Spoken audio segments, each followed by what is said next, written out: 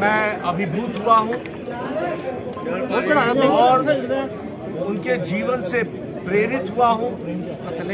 जिन्होंने अंग्रेज़ शासन के घुटनों को टिकाने में कोई कसर नहीं छोड़ी और अपने प्राणों को का बलिदान देते हुए देश को आज़ादी दिलाने के लिए भगत सिंह, राजगुरु और सुखदेव जो योगदान किया है उसको भारत की जनता सदा सदा याद रखेगी।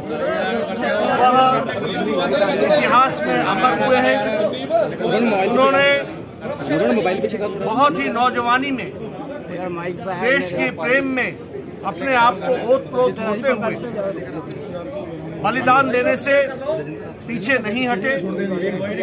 और एक समय जब डर का माहौल अंग्रेज़ यहाँ पर स्थापित कर रहे थे उस डर के माहौल को समाप्त करने के लिए उन लोगों ने जो कदम उठाए फिर उनके साथी भगत सिंह राजगुरु सभी ने मिलकर के जो कदम उठाया वह हम सब के लिए प्रेरणादायी है।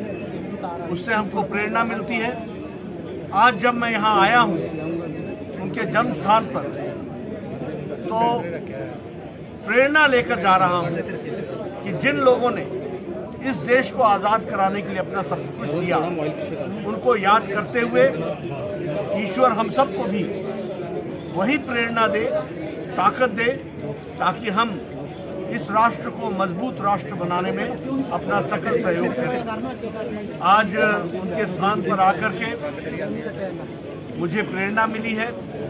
कल उनकी जन्म शताब्दी है। हम प्रण लेते हैं कि उनके उन्होंने जो बलिदान दिया, जो शहादत दी, वो ज़ाहिर नहीं जाएगी। और सदा भारत की जनता उनको याद रखेगी। और इस देश को मज़बूत बनाने में कोई भी कसर नहीं यही उनके जन्म शताब्दी की प्रेरणा प्रेरणा